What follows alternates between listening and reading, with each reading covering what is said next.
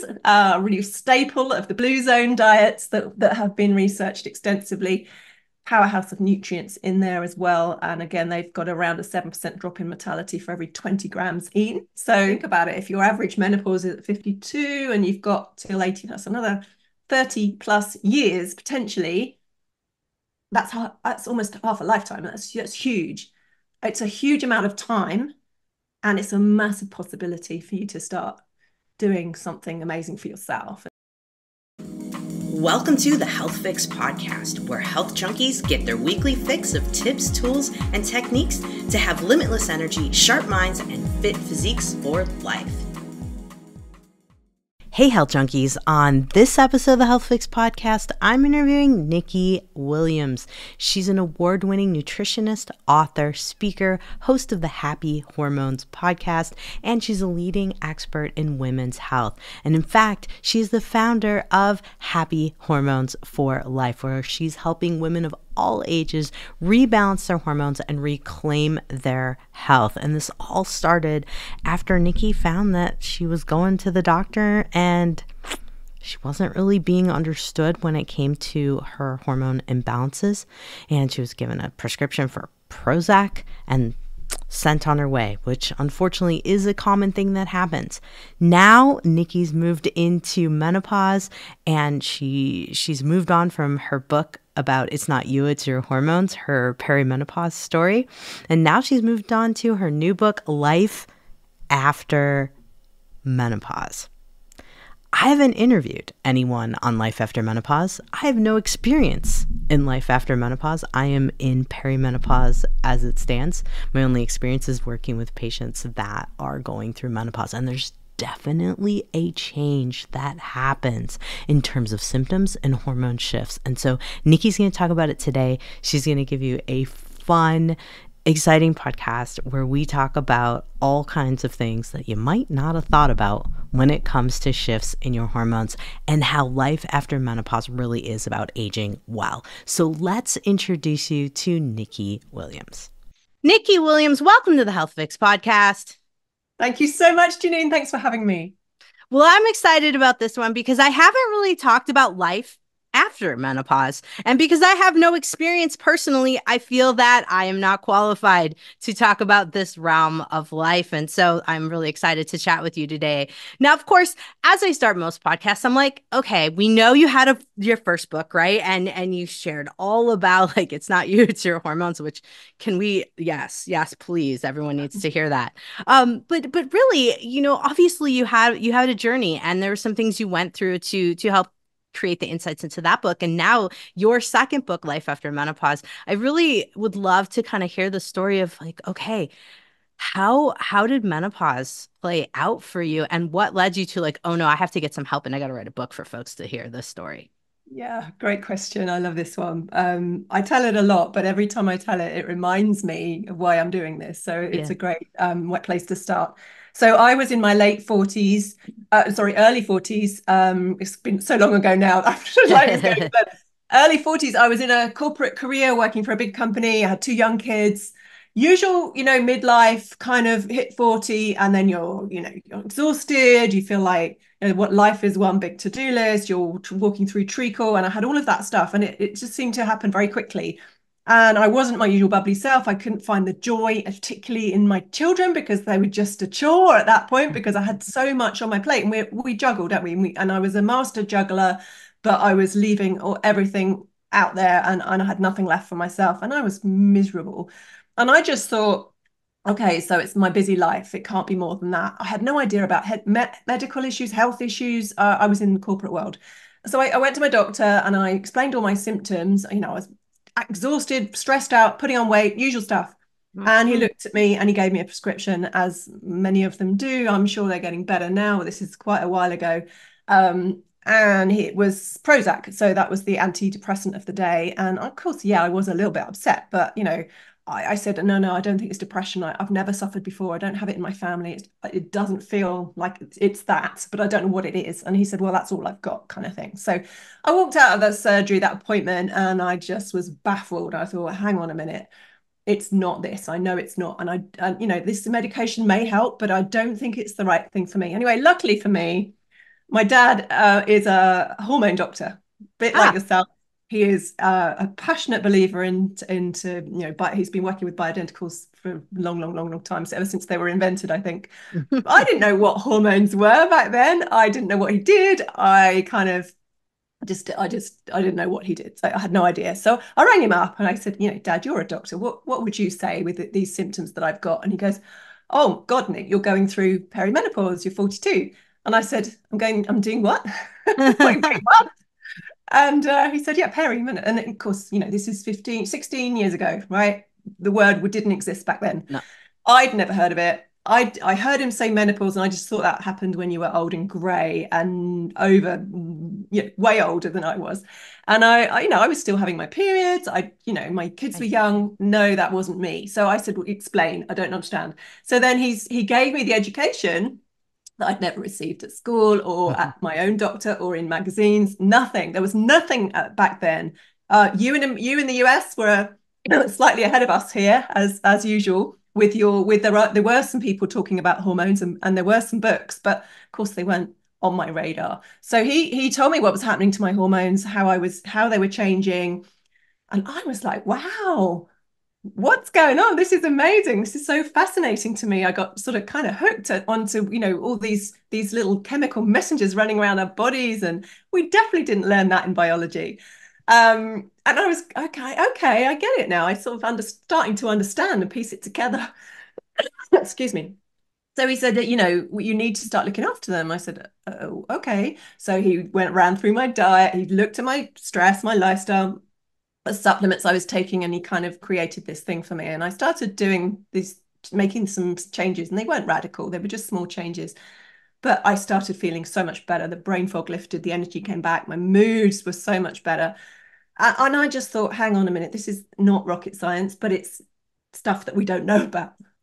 So I um I I dealt I went down the rabbit hole. I got really into it. I started geeking out on hormones and science, and I thought, ah, you know, I don't, I'm not really enjoying my corporate job. This is so much more interesting.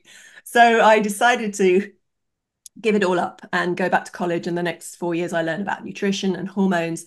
And in 2014, I launched my business, Happy Hormones for Life. We, and since then, so that's uh, 10 years now, um, we've been helping women with the education, the empowerment, and giving them tools to really be able to take control of their hormones and and really you know feel better than they than they ever could without that. So uh, I then wrote the book um, in 2017, so three years into clinical practice, because I couldn't reach that many people just doing the one to ones, and um, a lot of people couldn't necessarily afford it. So I said I've got to get this out there in a much bigger way so that I can reach more people. And the book seemed like the obvious idea, and it just flew out of me and I, I, think I wrote it in about eight weeks or something crazy. So oh, wow. that book was easy. Um, and then uh, so so and that's the only thing I ever thought I'd ever need. So I've got, you know, I've got my toolkit. I'm in my 40s, I'm in peri.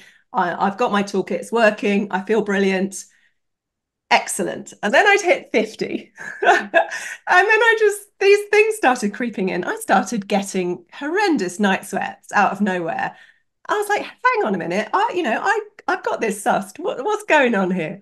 Um, again, I talked to my dad and he said, you know, Nick, you, you really, you're talking about, you know, let's, let's get your estrogen tested because, you know, you may be doing everything right, but there may be some things going on. So I, I did the, the test that we, we normally run the, the Dutch urine tests. And, uh, of course, my estrogen was on the floor. My progesterone was non-existent. And also my mum had uh, just been diagnosed with osteoporosis.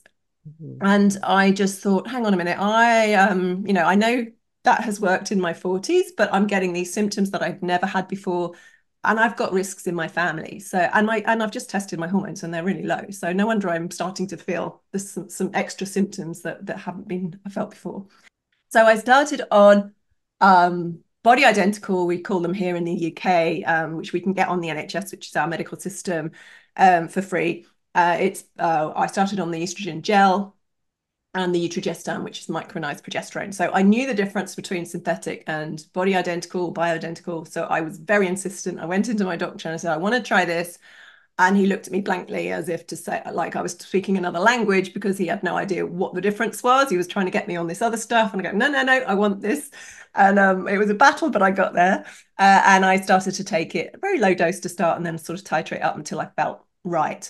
And, uh, and that's made a huge difference to me. So I've, in my 50s, I've felt like the, the, the landscape has changed for me. I've got different challenges. Uh, obviously, we've got aging thrown in um, you know, more inflammation, all of that stuff. And you've got to sort of adapt and and um, sort of change your toolkit a little bit to to adjust for the aging years and the different challenges that we face. And that's how I felt uh, going into my 50s. And I'm now in my sort of later 50s, and I'm sure it's going to change again in my 60s. Mm-hmm. But um, that's the thing I didn't quite realize in my 40s. I thought I'd got it sussed for life. And so I never thought there'd be another book coming along.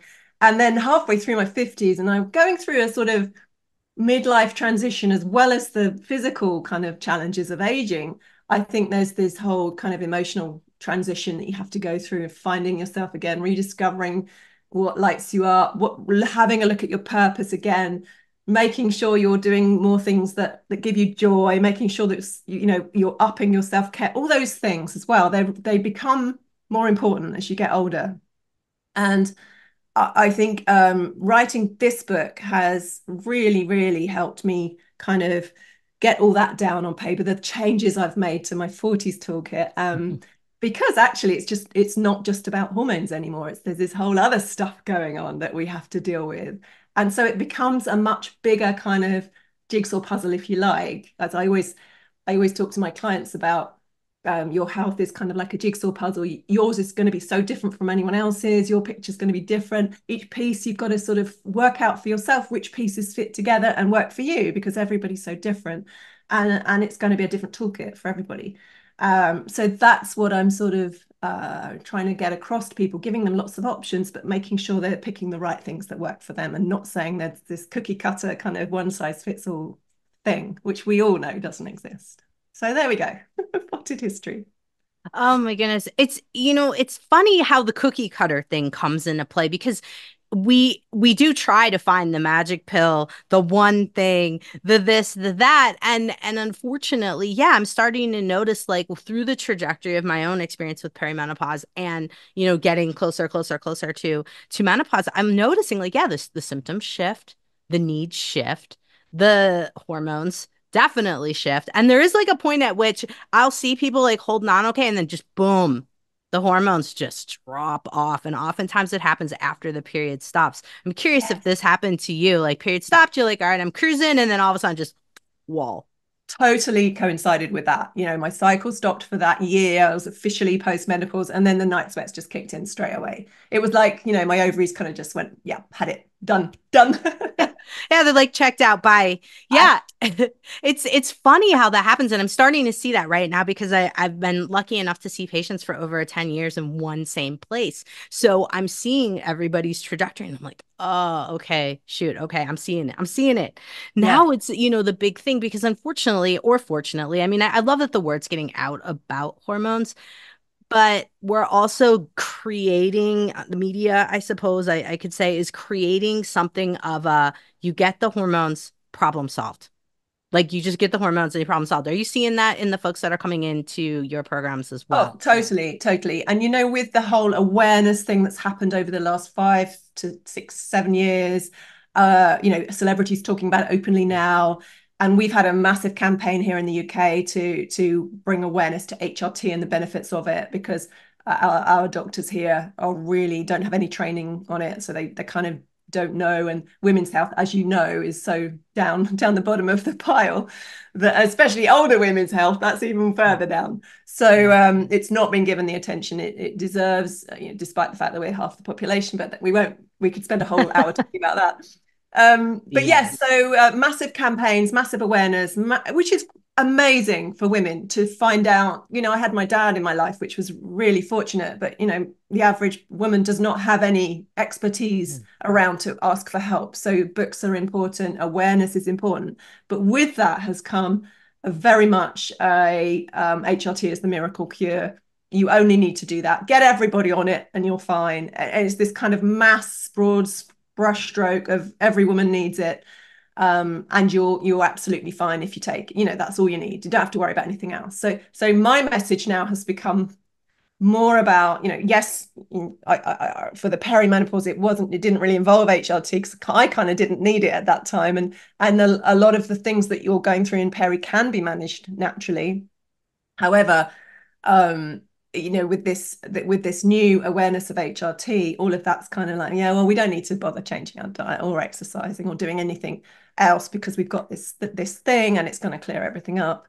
And for a small majority of a minority of women it actually does do that and they don't hmm, yeah. they're just the lucky ones aren't they? But but for the majority i think they either well yes they they might do better. A lot of a lot of women are doing better on it but they're not quite there. They're not 100% or they're doing worse on it and it's because it's not the right format dose or it's not even right for them. So so there's this whole spectrum if you like of of, of hrt but it's suddenly become well you, you take it or don't you know don't take it because you can't kind of thing. There's no sort of gray areas. And and because of that it's become quite divisive.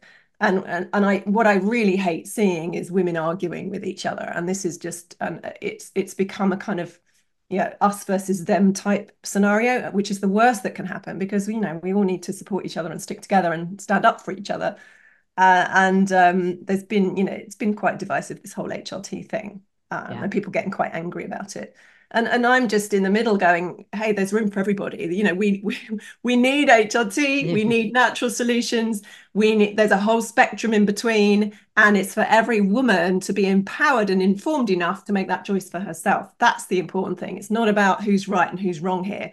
It's about giving women the information they need to make their own minds up. And that's it. I couldn't have said it better I couldn't have said it better.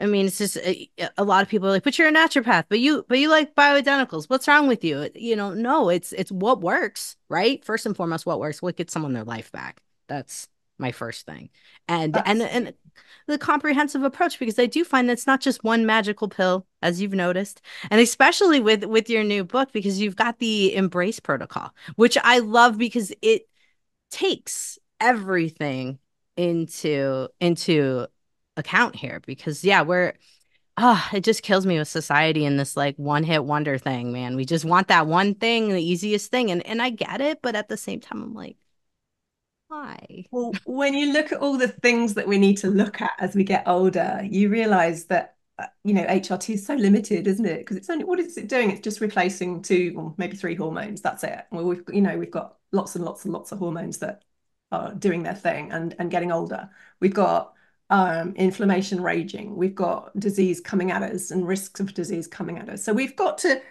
do more than just take a pill. We've got to look at our whole life um, and and and look at every aspect of it that impacts our health, and that's pretty much everything, to be honest.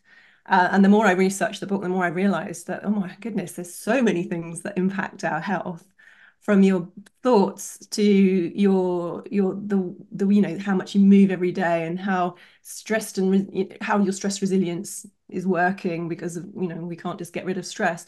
Emotions you know work stress technology there's so many things that impact us and and how long we live and this whole longevity thing. And of course it's moved now from lifespan to health span as you know it's all about how we age better because at you know, for a woman here, the life expectancy is now 83. I'm not sure what it is in the US, but I'm sure it's similar. And, you know, we're not living uh, very well up until that age, you know. Um, and uh, I think the stats in the US are worse than they are here. But I'm sure uh, it, it's uh, it, it, it need you need to be focusing on this now in midlife so that you can maximize those years because if you think about it, if your average menopause is at 52 and you've got till 80, that's another 30 plus years potentially. That's that's almost half a lifetime. That's that's huge. It's a huge amount of time, and it's a massive possibility for you to start doing something amazing for yourself and start you know like i, I watched one of your um, instagram reels on you know transforming that metamorphosis it's amazing you know what a poss- what an opportunity we have in that latter stage of our life to really make those years count and really focus on ourselves for once because most women have been looking after other people all their lives. True. And you know and, and i'm sure that you know there are some people who have still have to care, care for people but it's also an opportunity to to have a bit more freedom and and make use and really really use that wisdom that we've gained. And it, it's a huge opportunity. And, and all i see in in society is you know trashing older women and and the the ageism that is rife for particularly for older women and it's we've got to fight that as well as our aging bodies and perceptions and all of that. So there's a lot that goes into kind of managing that and making sure you're on top of it and and you're really uh, yeah putting yourself in a position to really max out those those years and and make them count absolutely absolutely. I i think i've kind of gone in the same direction as you like okay yes menopause hormones important. Now let's let's help everybody for that. Yes however many years you you you get to live you know this life and it's it's so important to have the foundations down too and yeah. even if you didn't get them younger now's the time. I, I think you know we also have that I- idea of like oh it's i've given up you know like I, i've wasted and i know i've done this too gone like oh i've wasted how many years now? I'm 46 oh geez you know it's over. Yes. It's yes. Like, but that's where the, the the attitude comes in because um, you can always change your thoughts. You can always change your attitudes to things. And that's really really important in in managing this next phase of our lives is to reframe aging for yourself and for others around you because a positive outlook on aging can itself increase your life by eight years it's been shown. So just having an attitude a different attitude about how you're aging is is huge. It's a big piece in that in that um, protocol of getting your own sort of jigsaw puzzle is, is your attitude. So so that's a big piece um, because we know that you know negative thoughts and and pessimism can can really shorten your life um, which is in, incredible isn't it to, to to think that but it, it's really true so um, it's so mind-blowing how much the thought process you know i've really only come awake to that in the last few years and it's mind blowing every single day when you know you catch yourself, right? Because it's easy to go down the route and you're like, dang, I'm doing it again, doing it yeah. again, you yeah. know. And I know I'm not alone, so it's definitely something to be thinking about. So I would love to hear how you're incorporating it into your programs, but also into your book, Life After Menopause, because I think this is so important to think about as we've already talked about what what is life after menopause? What what can we achieve? What can we do? How does this work? You know what's what's our own guidebook? How are we going to write this? So give us give us a scoop on the embrace protocol. When i was um, writing the book there was sort of it was the ideas and the the, the themes were were were falling into different areas of this kind of jigsaw as i was doing it. And i just noticed and i was constantly aware of the word embrace because I really wanted to fit it into how we approached this next section um, of our lives. Hold that thought. It's time for a word from our sponsors. One of my biggest frustrations, pretty much for most of my life, was figuring out my metabolism. But boy, when I started to go through perimenopause, things got out of hand. And I really became frustrated. And it seems like everybody's got a solution for what to do about your weight. And then honestly, I really believe that we're all unique. And this is where I love the Lumen because it helped me to understand my metabolism once and for all. Because I could use carbon dioxide from my own breath to determine if I was in carb or fat burn. And it helped me to understand what exactly was happening with food in my body, the different combinations, what worked best and especially how long I could fast and when not to fast. And also what happened when I didn't sleep well and what happened when I was stressed out. So I highly recommend checking out the Lumen. Use code HealthFix for $50 off.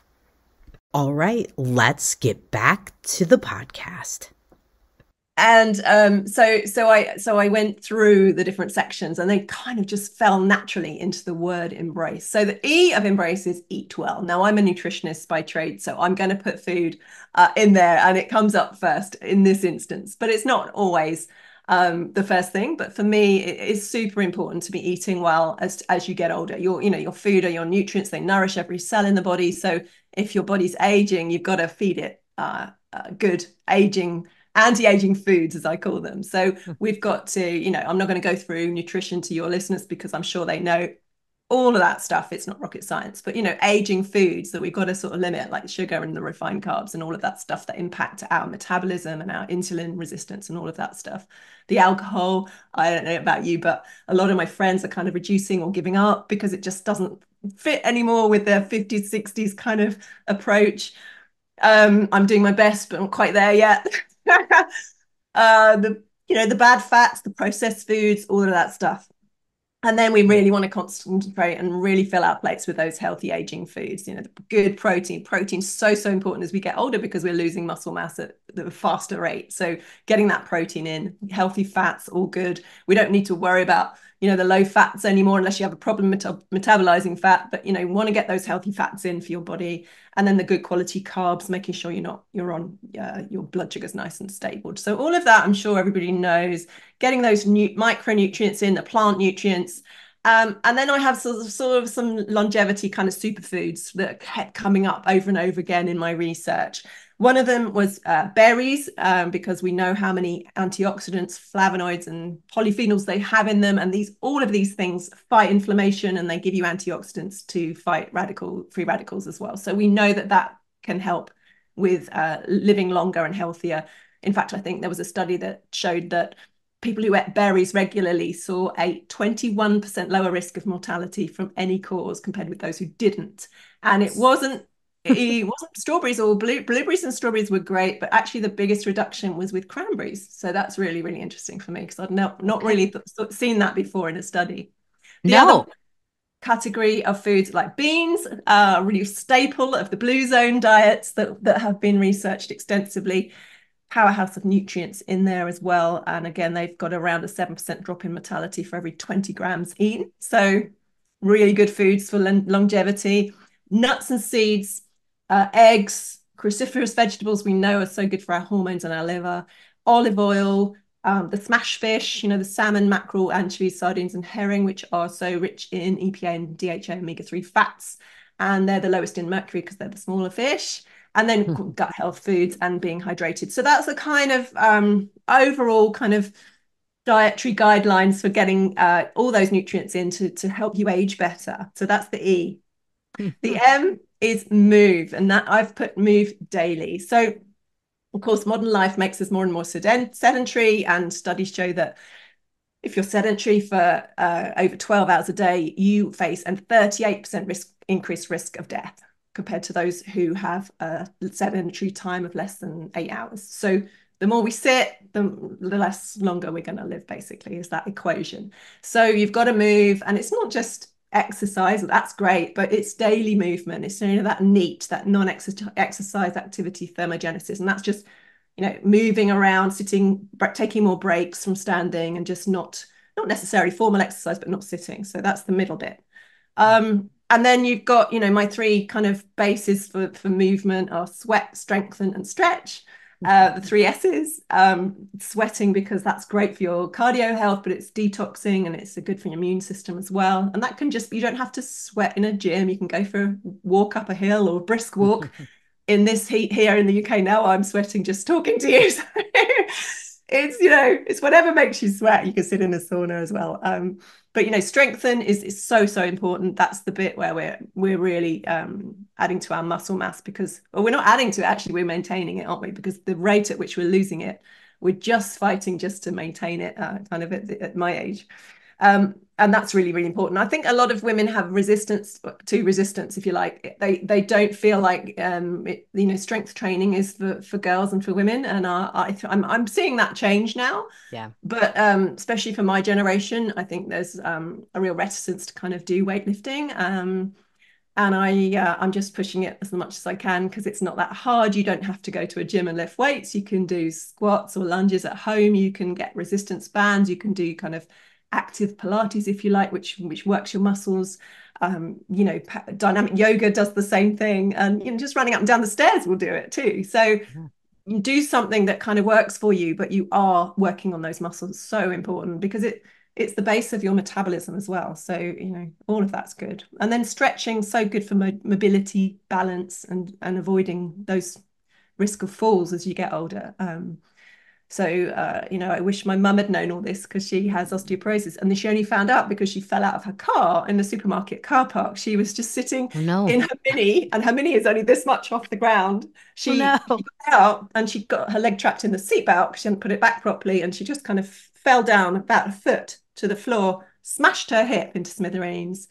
Um, and they said, well, hang on, you've only just fallen like this. And she had really bad osteoporosis, but she had no clue. There was no testing or anything. So, um, you know, I, I think, to, and, and that was a long, long period in hospital with lots of physiotherapy and recovery. And to, we have to try and avoid that because it's not only a nasty operation, um, but you're in hospital for a long time, you're immobile for a long time uh, and you're at massive risk of of more fractures and also uh, anything else you can pick up in hospital too. There's there's um there's quite a risk of going in and kind of not you know not coming out the same anyway. But so yeah, so that so keeping mobile and of course yoga is great for that. Pilates, Tai Chi, stretching, any kind of stretchy um, uh, stretching of your muscles is is good for that kind of stuff. And then we've got to look after our pelvic floor as well. We mustn't forget about that because yeah, those muscles kind of hold you up, hold everything in place and they're really important for your back, um, for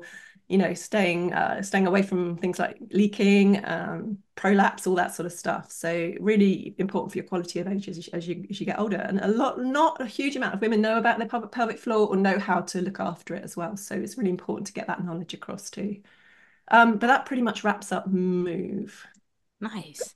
Nice. You know, I mean, the pelvic floor discussion i mean we're getting there. I i have two lovely gals Kim Vopni and dr Brianne Grogan. I mean they've been game changers for a lot of my patients but also for for me to just learn right? And then now the devices. I just tried this crazy thing called the v-tone. It looks like a teardrop. Yeah. have you tried this? Have you heard of no, it? no not heard of it no. Oh my goodness. Like it inserts vaginally and so you're like okay this is interesting. And then there's it's like connected to a radio frequency like pulse d- like device and like I never felt my pelvic floor like that before. I was like, "Whoa, this thing's impressive." So I I think we're really getting there and I think if we could we could just keep spreading the word like yes, pelvic floor cuz nobody oh. wants to like diaper situation. Like come on. Oh, no one wants that and it's quite difficult actually to do the do like exercise pelvic floor exercises properly without straining yeah. something else or doing it wrong which can make it actually worse. So these little devices are you know they can be game changers i'm sure yeah. Yeah. Yeah just fun stuff all right. So so we've got we finished that move. We got balance, rest, activate, connect, and, and eliminate. We got some more stuff there. What else are you doing yeah. folks? So balance, I'm going to skip over because that's kind of you've done that's about your hormones basically. So yes, hormones are important, but they're only a small part of this whole protocol. And you know, uh, you've got enough stuff on hormones, but it's all about balancing. I have a I have I talk a lot about the feisty four hormones, which are cortisol, insulin, thyroid, and estrogen, the four hormones that kind of if you get though in control of those if you get those balanced you're pretty much there you know? So if we can just focus on those four it makes it a little less overwhelming when we're talking about hormones in general. But we've talked about hrt it's it's important for a lot of women but not for everyone. And you've got to look after those hormones um, as best you can. And you know there are many many ways of doing that. I could talk to you about that for a long time. Mm-hmm. you know you you teach this stuff as well. So we're gonna i'm gonna skip over b um, and i'm going to go straight on to r which is rest rest enough. And this is all about stress management because we know that stress is, for me in my clinic, it's the number one indicator of how well you're going to go through perimenopause. The, the more stressed you are, the more symptoms seem to correlate for me. Hmm. And it didn't really register until I'd had that clinical experience because I always thought it was about food. But whew, no, it's about stress, isn't it? Oh my goodness. Um, and I think that's why we're having so many problems with our hormones because we're just not resting enough and we're not switching off enough and we're all too hyper. Um, I don't know if you've heard of um, Saundra Dalton Smith. Um, she's done an amazing TED talk and she talks about the seven types of rest. Um, so I've stolen those from her with her permission. Um, and, I, and I talk about those in the books. I think they're really important because when we think about rest, we might think about sitting on the sofa watching Netflix or you know going on a, a, spa day once in a while or, or, or just taking a holiday and it, it's just not enough. We need to be switching off daily. And there are seven types of rest that she talks about that are that are that makes us think a little bit about the types of switch off we need. She talks about obviously physical rest meaning sleep and and physical relaxation which is so important. So we know how, how important sleep is, but getting that enough sleep, but also making sure that we we have periods where we're relaxing. So that could be just reading your book or, you know, meditating or whatever you want to do for that. Mental rest is is that stress, work stress potentially, um, commit your over commitments, you know, all of that stuff. Uh, mm-hmm. that is just taxing your brain. So you need a brain break every every so often, um, and that that can be lots of different things to different people. We've got we've got sensory rest, which is switching off technology, screens, noise, light. Might be going to lie in lie in a dark room for a little bit. We've got creative rest where we can just reinvigorate our creativity, you know, spend time in nature, appreciating beauty, that kind of stuff, art. Uh, we've got emotional rest, which is about, you know, stopping that whole people pleasing thing that we do, um, that need for approval, uh, the getting used to saying no, those types of things. And then social rest, where it, you know we can get bombarded by by social activities too. So that's like um, making sure your connections are really positive ones. So spending more time with people you love that lift you up, and less time with people who don't. And then you, the last one is spiritual rest, which is nice too, and that's reconnecting with either you know your religion or your um, whatever you believe in the universe or divine or whatever it is and also your kind of passion and purpose. Um, so you're connected to something bigger than you in this world and i think that's really important as well and whether you do that through prayer meditation or volunteering or whatever it is that works for you i think that that's a really part a key part of, of resting as well.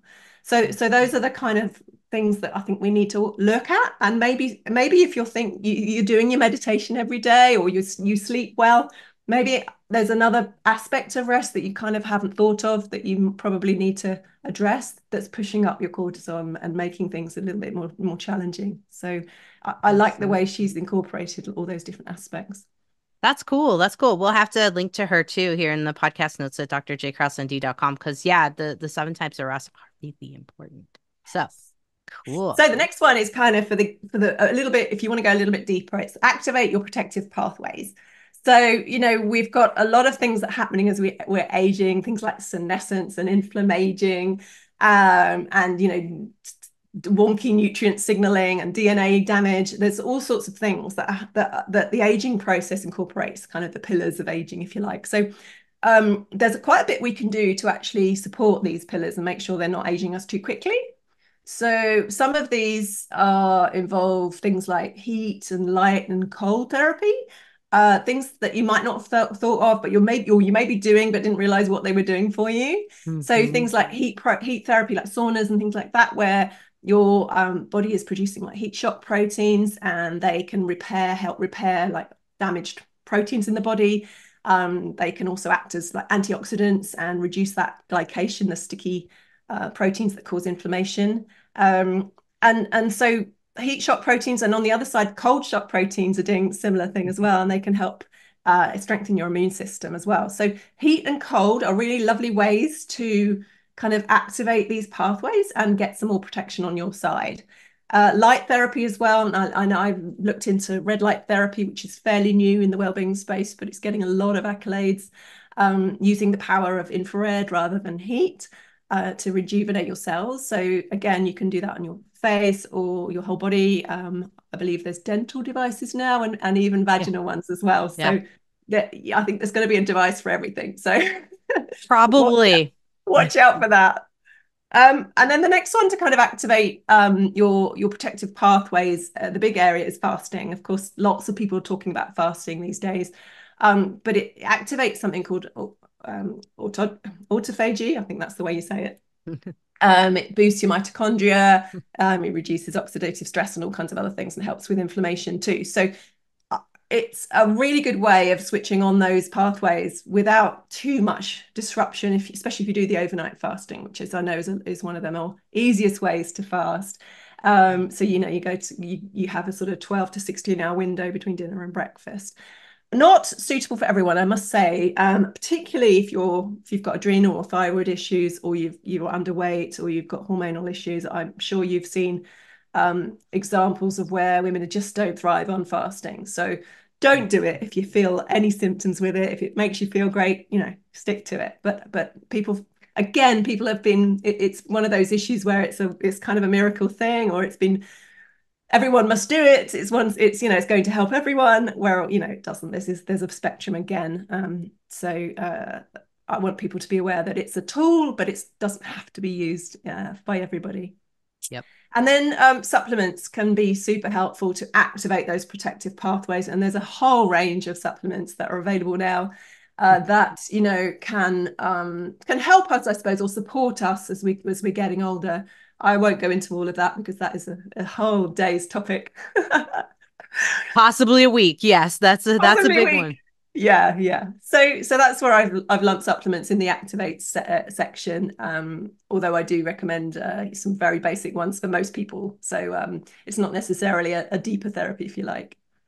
Um, and then the C is connect, and this is where we are looking at the, this emotion, our emotional health, really, um, looking at you know human connection, which we uh, you know have struggled with actually, particularly since the pandemic. You know, we've really uh, the, the the the phrase "friends recession" has been coined. You know, social fitness is something we all talk about now, and it's uh, it's become uh, an issue that, that a lot of people are struggling with. Loneliness is is is off the scale in terms of numbers now, um, particularly in the UK. For some reason, we really struggle here.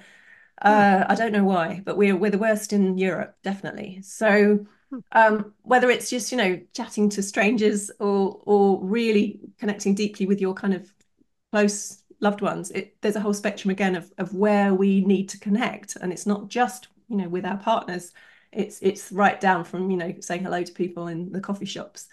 Um, there's so much evidence now that that helps us. So um, we are wired for human connection. So we need to nurture those connections and really seek out more deeper connections where possible um, to be able to feel uh, more emotionally stable and happy. Uh, because connection makes us happy. So that's the human connection. You know, we've also lost a lot of our connection to nature. It's super important. Spending time outside, it you know decreases stress, it lowers our blood pressure, improves our mood, and and it's also good for brain health. So we need fresh air, we need light, daylight, particularly to produce serotonin and melatonin, our sleep wake cycle. We we really benefit from being near water occasionally. That's really calming for our nervous system and we have the earth connection as well which was interesting when i was researching it um, i came across a lot about gardening i think I, I, know you've posted about this too about how how beneficial it is how how um, soothing it is almost coming in contact and that's because you're coming in contact with the earth um, mm. and you know you're able to absorb those and electrons which which can help neutralize free radicals whether you, you know it or not but it's a really good way of staying younger. And it's no wonder that it becomes more popular as we get older. I think that's just your body telling you you need to get out there and get your hands dirty, get your hands into the ground. Oh, absolutely. um, yeah, connection to our food we've lost as well. You know, we've con- convenience foods. We we don't know where they're coming from. We don't sit down and eat together anymore.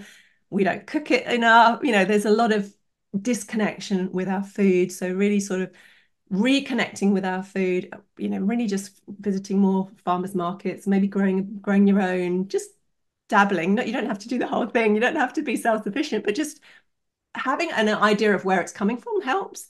And i think also social eating is so so important. Just getting together and making sure you're eating with others. And if you can't then maybe getting out um, to a cafe or something where you actually got other people around you even if you're not with them. But it, it has been shown to really really support your health as you get older. And then spiritually connected, we've talked about the rest element, but you know, finding that connection to whatever you believe in really helps you to deal with stress. It increases your, your resilience, it helps you find community as well and purpose.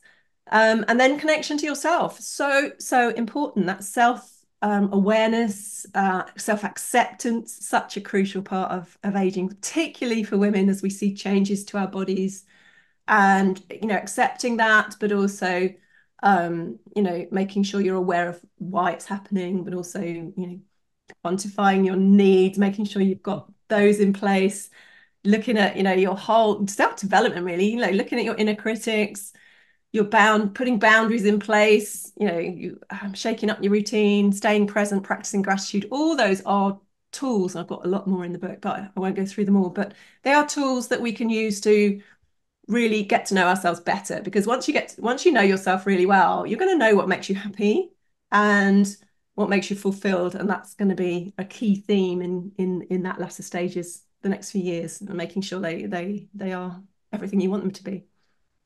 So important. So important. Yeah, the the connection thing, you know, you mentioned we've lost that absolutely with since the pandemic. I see that too. So many people just lonely, lost. It's huge, but also connecting to yourself, like finding out like who who are you and what do you mm. really want to do? Like what lights you up? I thought I find that the most fun to watch people kind of rediscover themselves let's put it that way totally yeah yeah uh, i'm doing a lot of that myself too so i think we're all on this journey of trying to work out what brings us joy and just getting trying to get more of it in our lives because we're realizing how important it is and then the last one is E, which is um, I've devoted to gut health and liver health. So it's eliminate and def- defend, which is your gut and liver and your immune system, because these are kind of the unsung heroes almost of our bodies and the systems. Um, they're absolutely crucial for keeping us healthy now, but also in the future. And because gut health is not just about digestion, it's you know it's a whole ecosystem that's supporting the whole body. Uh, it's our second brain. Um, it's our control center. It's controlling inflammation. It's controlling immune system. It's controlling how your hormones are produced and work. Um, your mental health. All of it. So uh, it's so so important to support your gut with the right foods, the prebiotic foods, the probiotic foods, lots of fiber, lots of plant nutrients. You know, limiting those food stresses so that your body can, um, your gut can work properly. Stress management because that's really really bad for your gut. Uh, and then oral health as well, making sure you're looking after your your your teeth and your your gums because that's really important too. And then the liver uh, does a huge job. It does over like something like 500 jobs.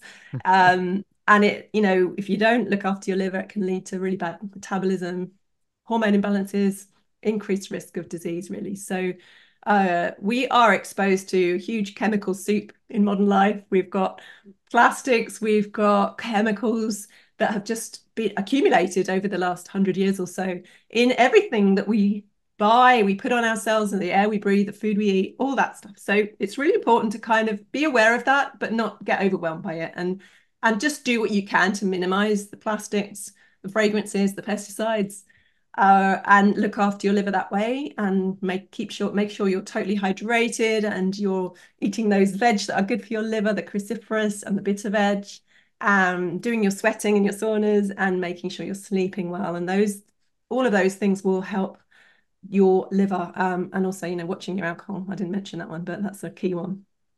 It's it's one that you know like like you mentioned earlier a lot of friends you have are, are noticing having trouble with it. I myself yeah i can't do it like yeah. min like minimal amounts if I yeah. even because at this point I'm like eh. just told my yes husband yesterday I'm like yeah I don't even really not interested yeah. anymore because I just yeah because you know the, the the the the payoff the cost of it is so much more than it used to be the cost is mm-hmm. you know you can wipe the whole day out can't you the next day because you just don't feel good and then in in the past you could probably so yeah, I don't mind doing that. I'm going to have a great time. But if you don't have the great time and then you're still getting the cost, mm, no, then it starts yeah. getting like a silly equation. it's it's wild. It's wild, and you know, I mean, you you have to at some point though look at like, okay, the liver side of that, and like I do find that when folks do start to hit a wall with drinking alcohol, I'm always like, okay, we gotta look at your liver metabolism. You know yeah. what's what's happening yeah. there, and that's probably one of the big things that I had to you know, face is like, okay, yeah, there's some things going on, toxic, you know, microbiome. It's huge. And you imagine the accumulation of the stuff over the years, it's just going to, it gets worse and worse. And that's why as we get older, I mean, the liver's going, oh, you know, I just can't cope with everything that you're putting in me. So something's got to go. And right. it's usually the alcohol, but, um, but yeah. yeah. So, and then lastly, the immune system, because that's what's keeping us strong and, you know, keeping us protected um, and you know it helps us with a lot of these aging pathways as well so we want to you know nutrient dense anti-inflammatory antioxidant rich diet we want to again manage our stress because that has an impact uh, gut health and you know certain supplements as well so there's a whole there's a whole thing a big kind of uh, lots and lots and lots of information but it's picking out what works for you and in your life and your lifestyle and what you can physically do as well because not you can't do all of this this is not meant to be you know do it all because I'm certainly not doing it all. I'm just putting it out there for you to just pick and cherry pick if you like, pick and mix what works for you, and so that you can like have a bit more information to put your own protocols together. Um, and even if it's just taking one piece from each section and starting there, then you are moving forward and you're taking those baby steps, uh, and and that alone can make you feel better already. So any little part of this that you start doing is going to be beneficial in the long run. Oh, I have no doubt. I have no doubt. I mean, I think unfortunately we're back to the all and or nothing kind of society yeah. or the one one hit wonder or one magic pill. I mean, we do think that there's like going to be that one thing, but sometimes it's a synergistic effect of multiple things and finding what what you like. Because I I've also had, and you've probably seen this too, where people come to you and they're like, I'm doing all the things, but they're stressed out by all the things, and yes. you're like maybe maybe there's something maybe there's mm-hmm. a a lower level that actually your body will feel actually better at. Yeah. Because we all want to be perfect, don't we? We want to try and do everything perfectly. That's a whole female trait, isn't it? The yeah. perfectionism thing. And um, yeah, and it can come to health as well. We want to do it perfectly, but in trying to do it perfectly, you're massively stressing your system out, and your nervous system is just going no, I'm not going to let that. And it doesn't progress. It doesn't give you the results you're looking for because it's saying no. I don't, you know, I can't. De- I can't deal with that. You, that's the wrong way to approach it. But it's often you don't you don't hear that message. You hear the message, oh, you're not doing enough, or you're not doing it well enough. And you know, we we we just trash talk ourselves, don't we? And we say, you know, you're not good enough. It's oh, it's another thing you're failing at, and all of these things that again, because we're negative talk to ourselves, it is having the reverse effect. So We've got to be kind to ourselves and we've got to realize that we can't do it all. We can't do it all perfectly. So just a little bit and baby steps and do what you can and do what makes you feel good and just start there. Absolutely. Absolutely well said. So of course I always have a question when when there's a book and there's a protocol. I like to see what the author's aha moment was out of the whole protocol. What was like your favorite thing that you discovered about yourself that was part of part of this protocol that you're like, "Oh wow, I really need this," or "Oh, I really love this aspect of the protocol." Well, uh, there's there's several actually. It's like picking your children, isn't it? Um, who's my favorite child? I think um, the cold water thing was a revelation to me because I have always been an absolute worse at getting into the water anywhere uh, if it's cold, if it's colder than like 20 something degrees. So for me, that was like something I'm going to write about it, but I'm never going to do it. And then I, I joined a local gym and they had this new brand new spa and in it was a cold plunge pool. Nice. And I said, no, I'm not, I'm not doing, I'm not the girl who does that. So I'm going to go in the sauna and get really warm. And uh, I'm just going to walk past it and just walk out. And um, one day I was with my sister and she's, come on, look, you've got this amazing thing. You've written about it. it. You've researched it. You know how good it is for you. And she said, just go in. So anyway, I put my foot in. Ugh, no way. Uh, and it took me about eight weeks. I slowly, every time I went, I put another body part in, and I got sort of the next week I was up to my knees. The following week I got up to my thighs, without you know before I freaked out. And then and now I'm I'm able to get in there and sit there for five good five minutes. Wow. And I am so proud of myself that I didn't give up. And I honestly feel I can understand why people get those endorphins when they come out because you feel amazing. I, I feel like I've just been kind of cleansed somehow. It's incredible the feeling you get. And I'm just glad I kind of pers persevered because I, I, am so not that person. so um, I think that for me was, I, I don't think I'd have done it if I hadn't have researched the benefits for the book and realized how good it is and what the body does and why it does it. And, you know, I've got to use every tool in the book for, for helping me age. And, you know, if I can get over this one and the rest seems quite easy. Oh man. Yeah, I've had patients ask me like, "Do you have to do the cold plunging?" And I'm yeah. like, "You know, I yeah. it's hard for me. You know, it isn't I don't like being cold. It's not mm. it's not I'm going to always divert to like the hot rock and like, you know, whatever yeah. I can do to get hot. Yeah. Warm. The thing is you don't the thing is you don't need to go as far as you don't have to die, get, get into an ice bath. You can just turn the shower down a little bit and make it a little bit cooler five, you know, 10, 20 seconds every morning. Just try and get your body used to a little bit of a colder shower. That will help. That will help. And then you can kind of progress from there if you want to. So You don't have to go to a plush spa with an ice bath. Although, I mean, it does sound a lot better than some of the folks in my local area who are dipping in the Puget Sound, which I'm like, nope, not gonna do it. You guys aren't gonna get me. Uh, but oh yeah. no, nope. I need I need no. to know what's underneath me. If I one, if I'm going in it, two, if it's cold, forget it. I need to know yeah. that there's not critters. Yeah, that open water swimming swimming sounds so romantic, but our local river is full of sewage, so I don't think that's very nice. No. it's really no. putting me off. No. I'll yeah, it, the cold shower. I, I like the cold shower in the spa. That sounds amazing. Yeah. I may I may try it at that point. Yeah. Oh my goodness, Nicki. So we got to tell we got to talk to we got to tell folks about your programs too because you've quite the team that helps you out. And and so we've got the book and then folks could you know dip their toes in no totally pun intended there um with the book and then they can work with you guys give us give us a scoop on your programs and and working with your team yeah, so we have been helping women for the last 10 years in our clinic. We do functional testing and um, we do a lot of one-to-one support. Um, so yeah, you can just go come over to happyhormonesforlife.com, um, go to the contact page and I can send you a whole load of information on how we work. Um, particularly beneficial if you're in the UK, because uh, obviously um, a lot of the tests are UK only.